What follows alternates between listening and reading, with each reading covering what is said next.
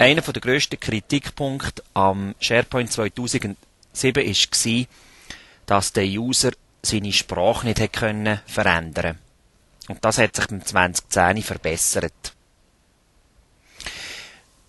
Der Administrator vom Web hat die Möglichkeit, bei Site Actions, Site Settings, gibt es einen Punkt, der heisst Language Settings.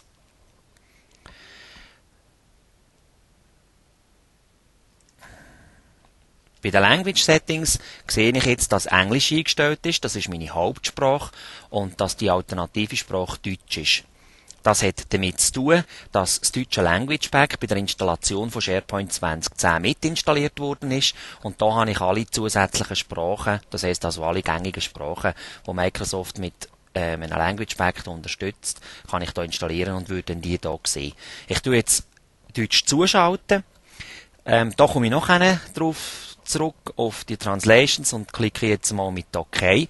Und ich sehe, dass meine Oberfläche immer noch nicht geändert hat, obwohl ich jetzt eigentlich Deutsch könnte einstellen Das kann jetzt jeder User für sich selber entscheiden, indem dass er in seinem persönlichen Menü inne im Punkt Select Display Language, der ist neu jetzt dazugekommen, kann wählen, ob er es Deutsch oder ob er es in Englisch sehen Das kann man hier einstellen. Ich stelle das jetzt um auf Deutsch.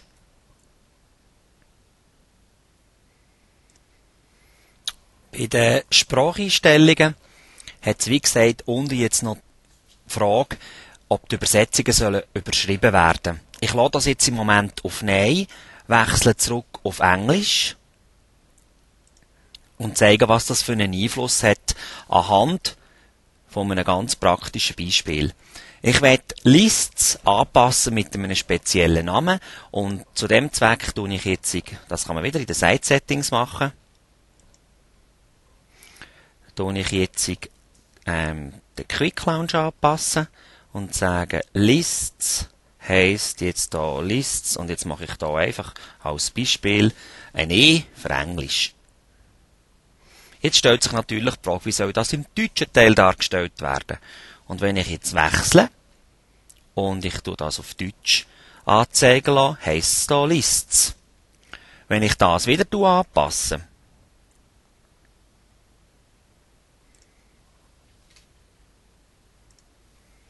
und sage da Lists D. Okay dann habe ich das Deutsch. Ich habe beide Sprachen steuern. Ich werde Ihnen jetzt die andere Einstellung zeigen. Wenn ich nochmal bis Website-Einstellungen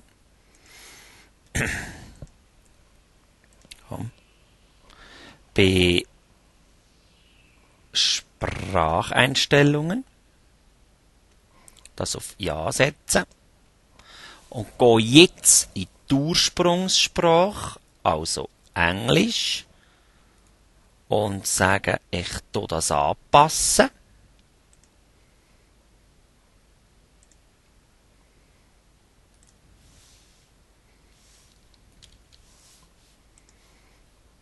wird automatisch im Deutschen das übernommen. Das tue ich jetzt überprüfen. Und sehe jetzt, dass der Name Lists New eingetragen ist. Ich kann so also das Verhalten der Sprache steuern.